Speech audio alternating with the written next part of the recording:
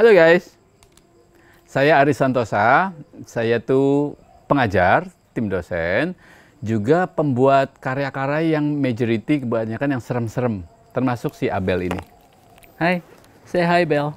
Hai.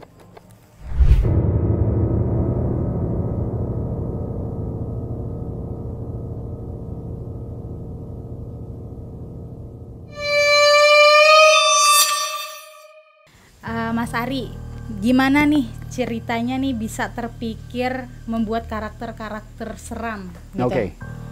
Iya, majority adalah seram ya, uh, villain, Mm-mm. tokoh jahat lah ya. Iya. Tapi memang buat gua pribadi membuat tokoh villain, karakter jahat, evil, hantu itu kok secara karakteristik tuh lebih kuat dibanding tokoh baik. Hmm. Itu sih yang lebih ke arah situ gua kalau the making a creature gitu loh, karakter. Itu kuatnya energinya atau gimana tuh Mas? I don't know, satu misalnya kita eh, dari sisi visual ya, lebih mudah ingat Hmm. itu. Lalu tingkat kejahatannya juga itu ngaruh tuh. Aha. Misalnya, eh, let's say paling fenomenal misalnya Texas Chainsaw Massacre, Hmm. si Leatherface. Itu kan semua orang tahu, mau bukan semua orang ya, tapi ingat gitu kejahatannya karena luar biasa. Oh. Gitu sih. Nah, kalau untuk proses pengerjaannya gimana nih Mas? Proses eh, banyak teman-teman mahasiswa yang eh, gua tuh menganut konsep speed and power, Hmm. kecepatan kerja, tapi juga tidak melupakan kualitas karya. Hmm. Jadi itu tetap dua hal itu gue jaga. Dan memang cepat, amat sangat cepat kalau kerja. Apalagi dengan mood yang tinggi ya, mood yang tinggi, lalu situasi mendukung, oh itu cepat sekali.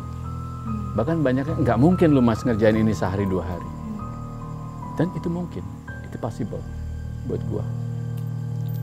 Nah, saat pengerjaan nih Mas, ada gak sih hal-hal mistis gitu yang Oh, terjadi atau setelahnya? Gitu? Itu menarik ya. Hmm. Ya gini, eh, kalau kalian guys main ke rumah gua, itu penuh dengan berhala tanda kutip. Hmm. Oke, tentunya makhluk-makhluk hmm, bahasa mereka lah ya, jin ya, itu menyukai media-media seperti patung, lukisan, fotografi kayak gitu. Dan di sini jujur aja penuh, Hmm. penuh dengan media itu. Nah, mungkin ini baru kemungkinan ya, rumah ini memang penuh dengan hal-hal seperti itu. But so what? Uh, I don't give a damn Hmm. about that gitu ya gue nggak terlalu ambil pusing. Kenapa? Mereka ada yes karena kepercayaan gue keyakinan gue meyakini mereka ada. Tapi buat apa kita pikirin? Toh jalan kita yang real itu jauh lebih harus kita pikirin gitu loh. Gitu sih. Ada gak sih kayak titik-titik tertentu nih yang Mas rasakan gitu? oh ada. Oh, ada. kebetulan gue bukan anak indie home ya. Oh sh- sebut merek. Bukan anak itu tapi minimal gue bisa ngerasain. Tapi ngeliat sih nggak ya jarang sekali. Tapi memang memang ada sih titik-titik tertentu yang energinya sama anggap amat sangat kuat di rumah ini. Gitu. Nah, kalau ada gak sih tujuan khusus nih dalam pembuatan eh, karakter tersebut gitu kayak Annabelle gitu? oke sebenarnya gini berbased on uh, I'm a movie freak. Hmm. dari SD kata bokap. Hmm. Selalu nonton film. Jadi memang film itu inspiring gue banget. Ter- Termasuk karakter-karakternya ya. Dan kebetulan film yang sering gue tonton ya horor lah dari dari gue SD. Entah horor Indonesia atau eh, impor gitu ya. Memang itu sih yang paling besar eh, mempengaruhi gue dalam berkarya. Dan ditambah gue orangnya cek orang Sunda mah loba kahayang. Hmm. Tahu artinya? Enggak. Banyak maunya Hmm. gue pengen punya ini, gue pengen koleksi ini, gue pengen punya itu yang orang lain gak punya. Nah, itu sih, itu sih yang menyemangati gue untuk selalu produktif berkarya selama ini gitu. Nah, kalau untuk pembuatan Annabelle sendiri nih Mas, motivasinya dapat dari mana? Oke, motivasi Annabelle. I'm a conjuring freak. Hmm. gue suka banget sama film itu dan seperti biasa gue pengen punya karakter sentralnya di Conjuring. Si Annabelle itu gue pengen punya. Termasuk Falak juga ya. Falak juga gue punya. Nah itu aja sih sesimpel. Gue suka film dan kalau ada karakter utama gue pengen punya. Hmm. itu aja. Sesimpel itu. Nah, kalau untuk cerita unik nih Mas Nah, dari si ini. Annabelle-nya nih. Bel boleh Bel ceritain Bel? Boleh. Oh boleh dibilang nggak apa-apa. Oke gini eh, Annabelle ini kata sebagian orang di rumah ini yang energinya paling kuat gitu ya. Energi apa ya kita tahu lah. Oke. Kenapa? Karena gini, dalam proses pembuatan Annabelle ini ini tuh handmade. Ini tuh dari resin. Orang masyarakat lebih kenal fiber kali ya, keras. Nah, sebelum dia keras itu berbentuk cairan. Nah, cairan diaduk dengan eh, katalis pengeras dia jadi keras kayak gini. Iya. Oke. Pada saat level eh, cairan, nah ini ini ada keisengan gua.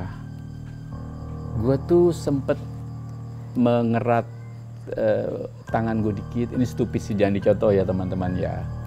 Untuk untuk me- mencampurkan darah gua asli ke resinnya Annabelle. Hmm. Jadi bisa dibilang muka Annabelle ini terkandung unsur darah gua sebenarnya karena dicampur dengan resin tadi. Nah, as we know, makhluk-makhluk seperti itu suka dengan darah. Gitu ya. Ini kita tahu lah ini. Makanya seperti cewek-cewek kalau sedang datang bulan jangan sembarangan buang pembalut ya. Ah, kayak gitu-gitulah statementnya. Nah, di sini kenapa Annabelle jadi energi terkuat di rumah ini? Karena ada I don't know ini bukan gue yang bilang ya tapi teman-teman bilang ada something yang merasa nyaman di sini stay. Kenapa? Mungkin itu ya mungkin. Faktor ada darah gua di sini. Pembuatnya tuh ada di sini di Annabelle ini. Makanya ya ya beberapa kali ada muncul gangguannya berlebih.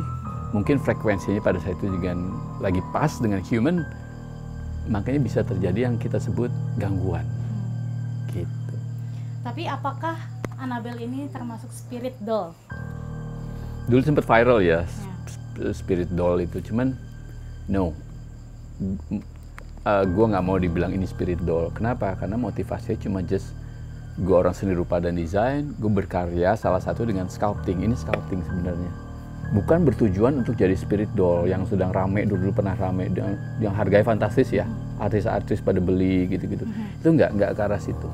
Dan pembuatan Annabelle justru jauh sebelum si spirit doll itu ada sebelum viral ini udah lama sekali gitu.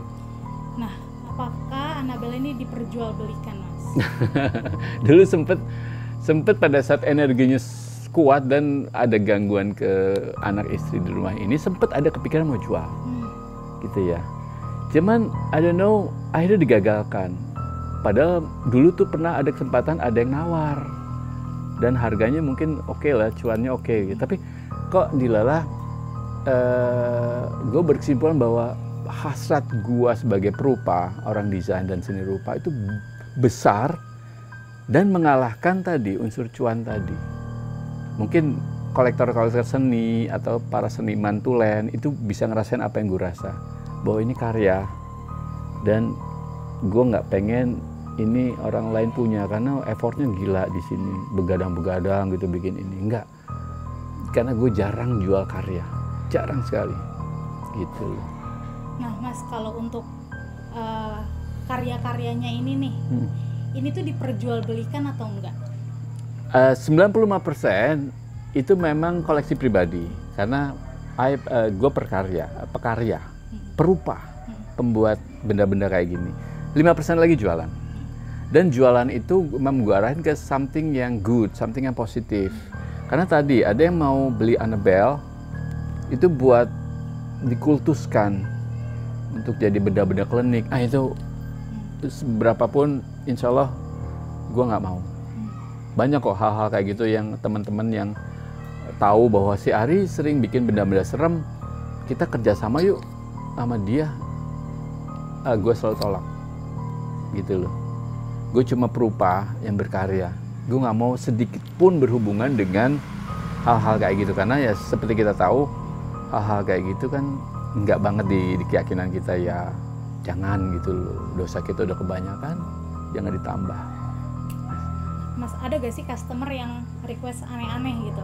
Dan Mas Ari uh, dengan keyakinan Mas Ari nih ditolak gitu? ada. Hmm. dulu gue bikin pocong. Hmm. segini lah pocong minta kuantiti besar. Wah itu untung gede. Cuan itu.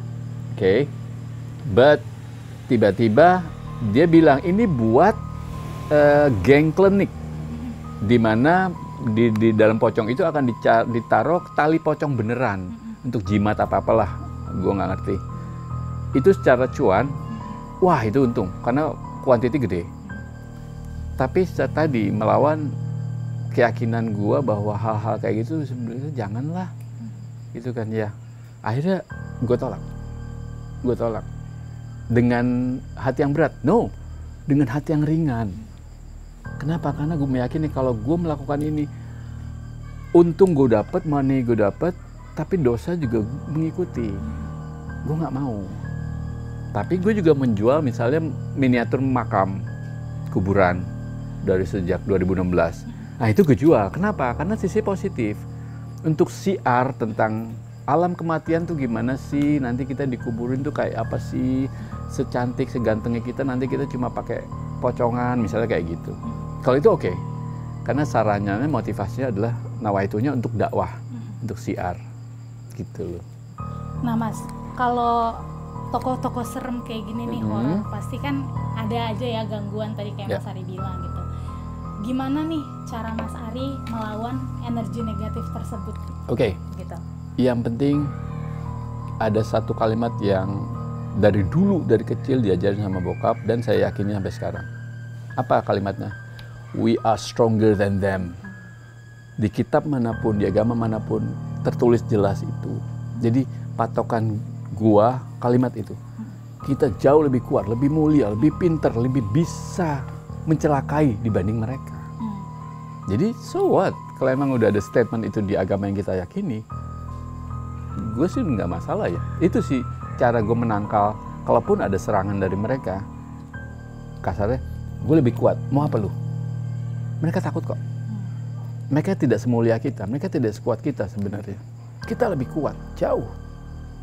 Jadi percaya itu buat teman-teman yang lumayan takut ya kalau jalan di kuburan apa di apa biasanya takut ya Iya. rumah kosong ya udah Bismillah atas izin Allah kita makhluk yang lebih kuat dibanding mereka. Yakini gitu.